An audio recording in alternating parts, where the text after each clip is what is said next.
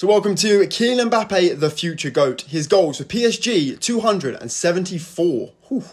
So in 2025, the PSG contract is over and he goes to Barcelona. So at Barcelona, how many goals will he score? He'll score 281 goals for Barcelona. So then, where does Kylian Mbappe retire? He retires at Inter Milan. How many goals does he score in his short spell at Inter Milan? 70, just to 78, gosh. And how many goals will he finish on for France? 90 goals, wow.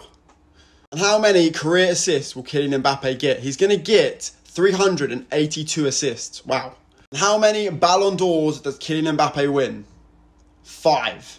How many trophies will he finish on? He currently has 15. He'll finish on 42 trophies. So 42 career trophies. How many of them will be international? He currently has two. He finishes on seven.